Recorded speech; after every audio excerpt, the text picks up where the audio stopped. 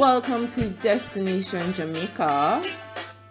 Give thanks for another day and another episode on this wonderful channel. Now we're going to be talking about some of our national symbols. One being ackee and saltfish. You know the symbols, you know what they are, but have you ever wondered how they came about?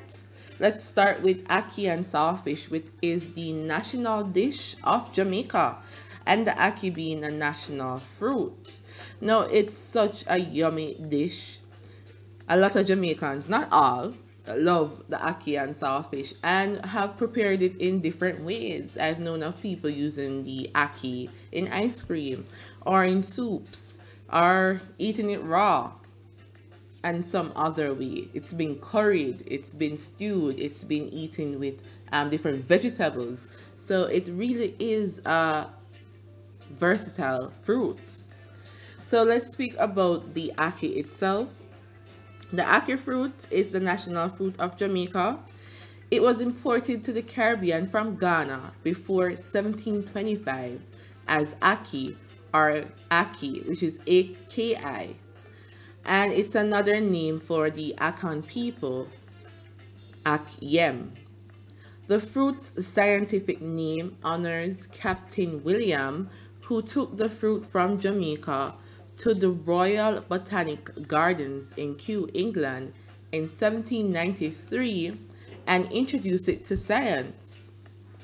Because parts of the fruit are toxic, so you probably heard of ackee being poisonous, um, such as the arils prior to the opening of the ox at the ripening stage, there are shipping restrictions when being imported to countries such as the US. So, you know, they said that ackee can be poisonous. You have to know when it's ready to be picked and how to clean it up and cook it. So you probably hear a lot about the ackee being poisonous. It's not a myth science shows that it is a poisonous fruit. But we've never heard of anyone um, being poisoned by it because Jamaicans generally know when to pick it and how to cook it. Now, saltfish, codfish was introduced to Jamaica for enslaved people at the time. So it was an inexpensive and long-lasting protein source for those who were in slavery. So that's also back info, quick back info on the ackee and saltfish. How do you like to prepare yours? Um, what do you like to eat it with? Let us know in the comments. And of course, you can get your own souvenir of this wonderful ackee uh, fruit or national fruit through this artwork that I'm showing right now. The link below to get it.